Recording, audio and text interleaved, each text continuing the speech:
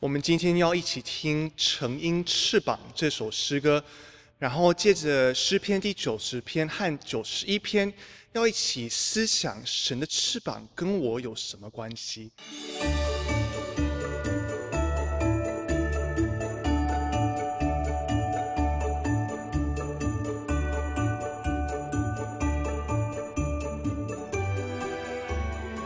各位弟兄姐妹们平安。